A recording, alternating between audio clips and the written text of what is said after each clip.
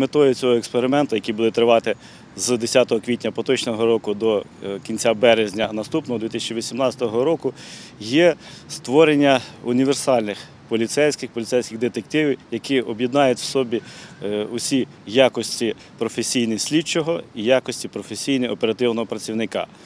Наразі нами готується вся необхідна документація для проведення цього експерименту, а також проводяться заплановані е, навчання. Ми маємо навчити за короткий проміжок часу слідчих тих навикам, які притаманні оперативним працівникам, оперативних працівників навчити азам е, проведення досудового розслідування.